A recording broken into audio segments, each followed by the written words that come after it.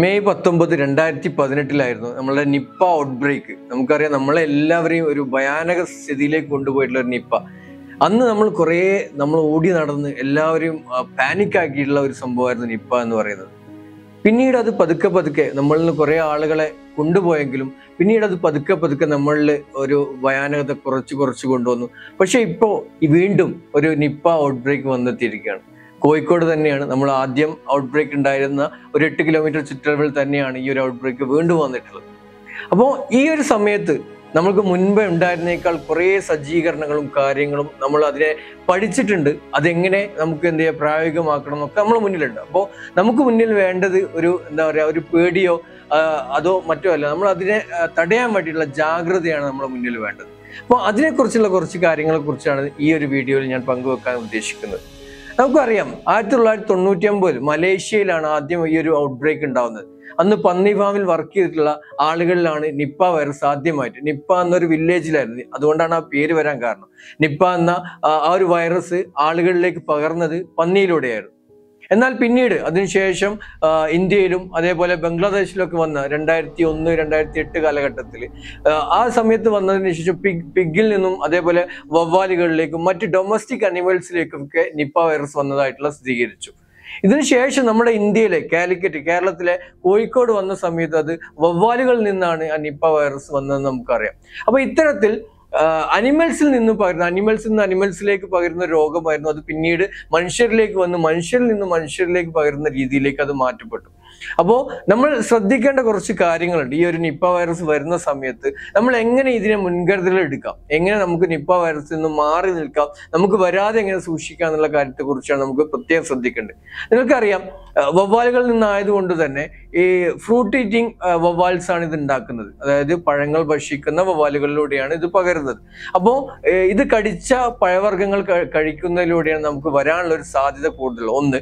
രണ്ടാമത് നമ്മൾ വീടുകളിലൊക്കെ വളർത്തുന്ന നായ്ക്കൾ അതേപോലെ പൂച്ച തുടങ്ങിയിട്ടുള്ള മൃഗങ്ങളിലൂടെ ഇത് വരാനുള്ള സാധ്യത കൂടുതലാണ്.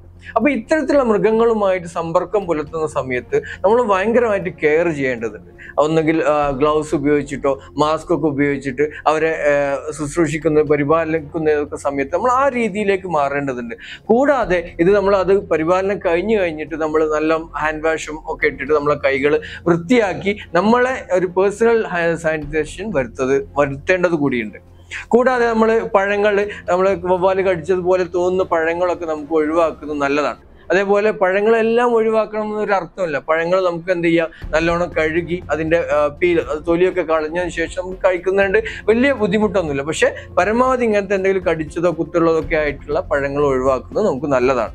അപ്പൊ ഇത്തരത്തിൽ നമ്മളൊരു എന്താ പറയുക മുൻകരുതലുകൾ എടുത്തുകൊണ്ട് നിപ്പയെ നമുക്ക് വളരെ ഈസി ആയിട്ട് നമ്മളെ എന്താ നമുക്ക് ഇവിടെ നിന്ന് മാറ്റി എന്താ പറയുക കൊണ്ടുപോകാൻ പറ്റും. അപ്പൊ നിങ്ങൾ നിങ്ങളുടെ ആളുകളും എല്ലാവരും ഇപ്പോൾ നമ്മൾ ഗവൺമെന്റ് നിർദ്ദേശിക്കുന്നത് പോലെ മാസ്ക് ഒക്കെ ധരിച്ച് നമുക്കറിയാം ഇതിന്റെ ഒരു സ്രവത്തിലൂടെ അതായത് വായുകളുടെ മൂത്രത്തിലൂടെയോ അവരുടെ കാഷ്ടത്തിലൂടെയോ അല്ലെങ്കിൽ അവരുടെ സ്രവത്തിലോ ഉമിനീരിലൂടെയോ ഒക്കെയാണ് ഇത് പകർച്ച വരുന്നത് മറ്റുള്ളവരിലേക്ക് പകരുന്നത്. അപ്പോൾ ഇത്തരം സ്രവങ്ങൾ നമ്മളിലേക്ക് വരാനിടയുള്ള മാർഗങ്ങളൊക്കെ തടയാന്നുള്ളതാണ് നമ്മളൊരു നിപ്പയെ പ്രതിരോധിക്കുന്ന ഏറ്റവും എന്താ പറയുക ഫലവത്തായ ഘടകം എന്ന് പറയുന്നത്. അതിന് വേണ്ടിയിട്ടാണ് നമ്മൾ മാസ്ക് ധരിക്കുക. നമ്മൾ കൈകളിലൊക്കെ ഈ സ്രവമായ ആവുന്ന ഒരു സിറ്റുവേഷൻ നമ്മൾ ഹോസ്പിറ്റലിലേക്ക് പോകുമ്പോഴോ മറ്റുള്ള അവരുമായിട്ട് സമ്പർക്കം ചെലുത്തുമ്പോഴൊക്കെ നമ്മൾ ആ സ്രവം നമ്മളെ കൈകളിലൊക്കെ ആകുമ്പോൾ നമ്മൾ അതെന്താ അറിയാതെ നമ്മളെ വായിലേക്ക് മൂക്കിലൊക്കെ ആവുന്ന സമയത്ത് ആ സ്രവത്തിലൂടെയാണ് ശരിക്കും നമുക്ക് നിപ്പ വൈറസ് എന്താ നമ്മളിലേക്ക് വരുന്നത്. അപ്പൊ അതിനെ അവോയ്ഡ് ചെയ്യാൻ വേണ്ടിയിട്ടാണ് മാസ്ക് ഉപയോഗിക്കണം എന്ന് പറയുന്നത്. അതേപോലെ നമ്മളെ കൈകൾ നല്ലോണം വൃത്തിയാക്കി കഴുകുക. ദിവസവും എന്ത് ചെയ്യുക? സോപ്പിട്ടോ അല്ലെങ്കിൽ നമ്മൾ സാനിറ്റൈസർ ഉപയോഗിച്ച് ഒക്കെ നമ്മളെ കൈകൾ വൃത്തിയാക്കി വെക്കുക.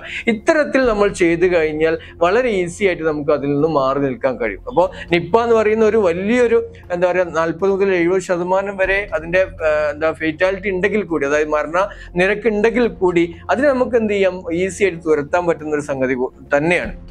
അപ്പോൾ ഇതിനെക്കുറിച്ച് ഇത്തരം രീതിയിലുള്ള അവബോധം നിങ്ങൾ ഉണ്ടാവട്ടെ എന്ന് കരുതിയാണ് ഈ ഒരു വീഡിയോ ചെയ്തത്. അപ്പോൾ എല്ലാവരിലേക്കും മാക്സിമം ഷെയർ ചെയ്ത് കൊടുക്കുക. ഇൻഫർമേഷൻ നിങ്ങൾ മനസ്സിലാക്കുന്നതോടൊപ്പം ഇത് പ്രാവർത്തികമാക്കാൻ വേണ്ടി കൂടി നിങ്ങൾ ശ്രമിക്കുക. അപ്പം നിങ്ങൾക്ക് എല്ലാവർക്കും നല്ലൊരു ദിനം ആശംസിക്കുകയാണ്. നമുക്ക് എല്ലാവർക്കും ഒരുമിച്ച് നിന്ന് നിപ്പയെ ഈ പ്രാവശ്യം നമുക്ക് എന്ത് ചെയ്യാം? തുരത്താം. Okay thank you thank you so much